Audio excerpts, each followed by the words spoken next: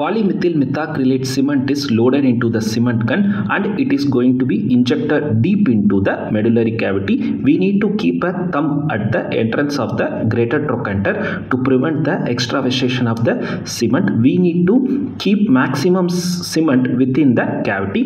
Now I am going to insert the bipolar prosthesis.